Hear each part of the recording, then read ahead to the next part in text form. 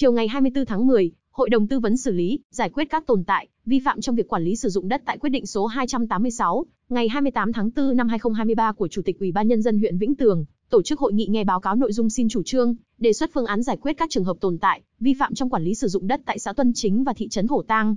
Đồng chí Nguyễn Phương Nam Ủy viên Ban Thường vụ huyện ủy, Phó Chủ tịch Thường trực Ủy ban Nhân dân huyện chủ trì hội nghị. Tính đến thời điểm hiện tại, xã Tuân Chính có 204 trường hợp vi phạm. Trên địa bàn thị trấn thổ Tang có tổng số 183 trường hợp vi phạm. Tại hội nghị, các đại biểu thảo luận tập trung vào một số nội dung như nguồn gốc đất, xác định chính xác các chủ sử dụng đất, thực trạng sử dụng, giả soát lại toàn bộ đối với từng trường hợp theo từng thời điểm, đề xuất phương án cụ thể. Kết luận buổi làm việc, đồng chí Nguyễn Phương Nam Ủy viên Ban Thường vụ huyện ủy, Phó Chủ tịch Thường trực Ủy ban Nhân dân huyện yêu cầu Ủy ban Nhân dân xã Tuân Chính tiếp tục giả soát lại toàn bộ 204 trường hợp tồn tại, cụ thể mô tả chi tiết từ vi phạm đến nay biến động như thế nào, xác định thời điểm xây dựng nhà ở, lập biên bản kiểm tra đối với từng trường hợp cụ thể, có sơ đồ bản vẽ cụ thể. Về phương án quy chủ đang sử dụng thì đề nghị Ủy ban Nhân dân xã giả soát, nghiên cứu để đề xuất phương án theo quy định. Thời gian thực hiện xong trước ngày 30 tháng 11 năm 2023. Sau khi Ủy ban Nhân dân xã giả soát và đề xuất phương án giải quyết trên cơ sở ý kiến tham gia của các thành viên hội đồng tư vấn,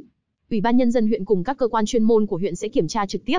Đối với thị trấn Thổ Tang, đồng chí yêu cầu Ủy ban Nhân dân thị trấn tiếp tục giả soát, lập danh sách cụ thể từng trường hợp kèm theo sơ đồ mô tả hiện trạng vi phạm, hoàn thiện và gửi báo cáo Hội đồng tư vấn huyện trước ngày 5 tháng 11 năm 2023. Sau khi Ủy ban Nhân dân xã giả soát và đề xuất phương án giải quyết trên cơ sở ý kiến tham gia của các thành viên Hội đồng tư vấn, Ủy ban Nhân dân huyện cùng các cơ quan chuyên môn của huyện sẽ kiểm tra hiện trạng trực tiếp và tiếp tục họp xét,